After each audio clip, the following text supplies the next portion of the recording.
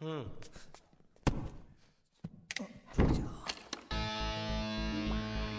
क्या है सफ़ेद सफ़ेद? हटा हटा हटा हटा हटा हटा।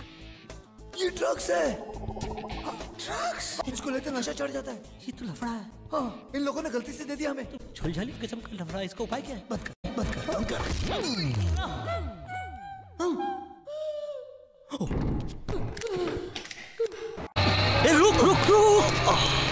बैग का क्या करें? सोचने दे। क्या सोचने थे इसके अंदर का माल उठा के फेंक डालते हैं ये बैग रख लेते हैं। कपड़े रखने का काम आएगा अच्छा बैग है यार। अबे तेरा दिमाग खराब है क्या? मालूम है इसकी कीमत क्या है? एक करोड़ रुपया। एक करोड़ रुपया?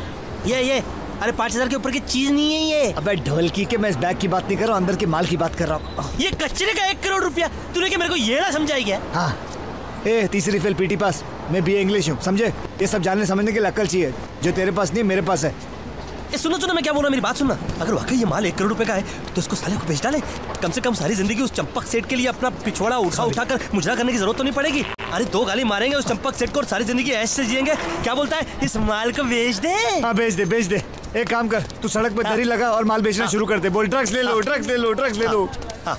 पब्लिक आएगी क्या? आएगी ना। वर्दी पहन के आएगी। Police excuse me west the police station है please Where I'm from Russia, don't ask me stupid क्या questions. क्या क्या क्या बोला ये? इधर आ तू इधर आ। और तेरे को उठा के लेके जाएगी और डेढ़ सौ दो सौ साल के लिए अंदर डाल देगी।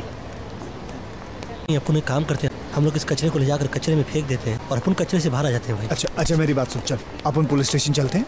पुलिस वालों को सारा सामान देते हैं और उसके बाद उनको बोलते हैं कि हम लोग हमको अंदर करो। हम अंदर आने के लिए तरह से रहे तेरा। दिमाग फिर खराब घुसेड़ क्या? घुसेड़ उल्टी सीधी बातें क्यों करता उल्टा पैदा हुआ था क्या?